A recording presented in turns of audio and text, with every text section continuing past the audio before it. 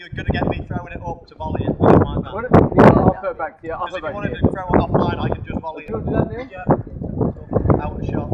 Yeah. So you tell me where you want it. Okay, so down to about yeah, I need to be hitting about there. So, Nine. Yeah, yeah, yeah.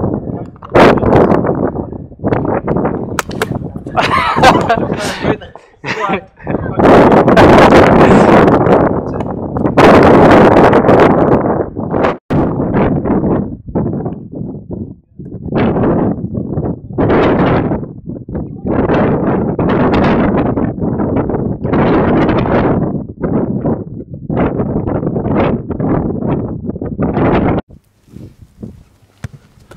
Oh, he tipped it over the bar. Yeah.